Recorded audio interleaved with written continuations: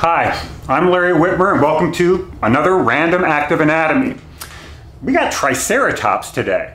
And part of the reason we're doing Triceratops is, is that our team is going uh, later today to Bozeman, Montana and the Museum of the Rockies to study dinosaurs of all different kinds, but we're also going to be returning specimens such as this brain case of Triceratops right here. This specimen right here is another specimen of Triceratops from the Museum of the Rockies. MOR 699. It's all in pieces and I got it laid out here for you. Part of what I want to show you is that this looks like a pretty big animal. Um, and here's actually the brain case of this uh, specimen of Triceratops right here. Here's the occipital condyle where the neck attaches. What I want to show you now is the brain case that we're returning, MOR 1194.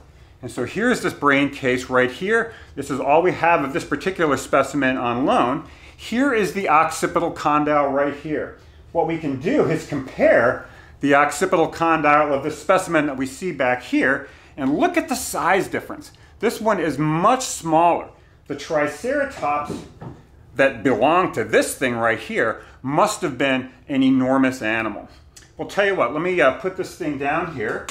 Um, I'm on my own here, so let me just zoom in here a little bit so that we can see that a little bit better. Whoops, wrong way. There we go. Okay, so we can see the, the brain case right in here. Um, I'll spin it around a little bit. Uh, you can see that it's really just literally the brain case. The brain would sit in here. And part of the reason we got this is so that we could do our CT scanning and see if we could figure out what the brain was looking like. Let me just go ahead and pull this up here so you can see some of the features. It's actually a pretty nice brain case. It looks kind of beat up actually. Um, like there's lots of fractures, uh, but we can still see lots of these big holes in here. Um, if you look on the back right here, you can see that is the foramen magnum uh, where the spinal cord would come out. Here's the right side right here, so the front's that way. And you can see lots of these little holes right here. So what we did, as we typically do, is we ran this thing through a CAT scanner, came up with the digital endocast, and in this case, we printed it out. So here's the 3D print of the brain endocast that goes with this guy. And so the, the blue part is the brain part, more or less. Uh, the yellow are the cranial nerves. The red things are, are blood vessels, arteries, and these other, this color right here is actually uh, veins, and that's the inner ear right there. one thing we can see here, and let's not judge uh, Triceratops, but this is a really small cerebrum. This brain case isn't so distorted to suggest that this is strongly compressed. I think Triceratops just simply was a fairly simple animal. Uh, probably not a lot of cognitive capabilities. But one thing we can see is actually how all of these um, openings here in the brain case match up with features in the endocast.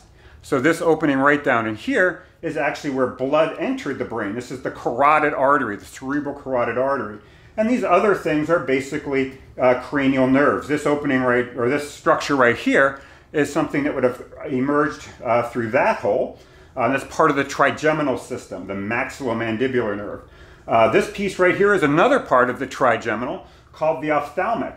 And we might have missed it but look at, by just looking at this, but by able to be using the CT scans, we could see how this nerve tunnels through and actually emerges right around in here. And we could do that with all of the rest of these um, nerves, and you can sort of see that we get a very complete endocast um, as, as a result. And so um, we kind of got to get moving here because I got to get this guy packed up. We're hitting on the road in just, uh, just a couple of hours. Uh, but before I did that, I just wanted to show you what um, this brain case of this huge individual of Triceratops looked like, as well as giving you a glimpse of its brain endocast. So um, with that, I'm Larry Witmer, and thanks for seeing another random act of anatomy.